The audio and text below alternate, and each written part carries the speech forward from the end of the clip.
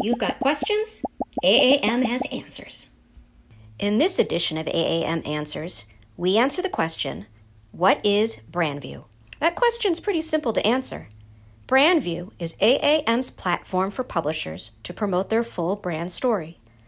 These profiles live within AAM's database, the Media Intelligence Center, and contain top line data for verified channels, media kit links, and advertising sales information.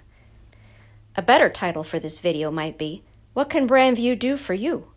For publishers, BrandView brings your AAM verified data across channels to life through promotional text, images, and video. For media buyers, BrandView provides one place to find an overview of a publishing brand, including verified data from print, digital, and social channels and advertising information. Let's take a closer look at a BrandView profile. Use the search bar or filters to locate your desired title.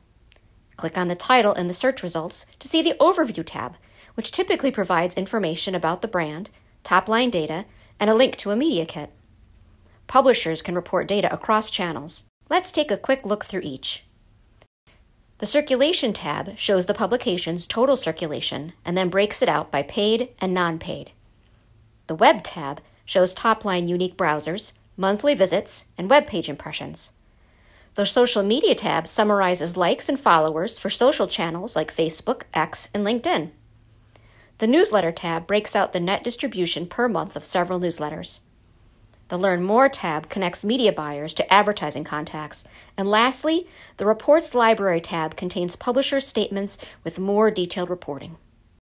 To see hundreds of BrandView profiles for quality publishers, visit AAM's Media Intelligence Center at auditedmedia.com.